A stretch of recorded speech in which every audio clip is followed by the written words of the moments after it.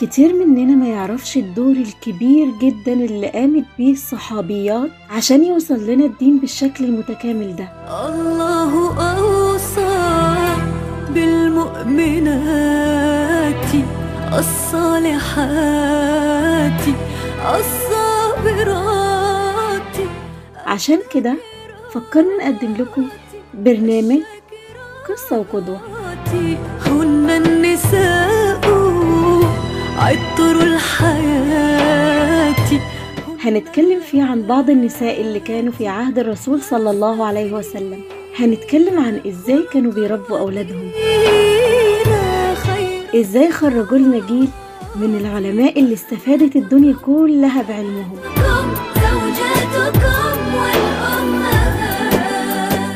إزاي كانوا بيستقبلوا تعاليم الدين من النبي صلى الله عليه وسلم ووصلوها لينا بالشكل الجميل المتكامل ده؟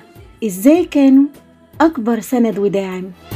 أخواتكم وبناتكم زوجاتكم والأم. انتظروني في برنامج قصة وقدوة على قناة فرسان التحدي.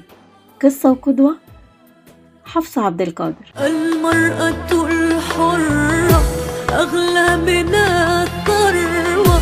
من يؤذيها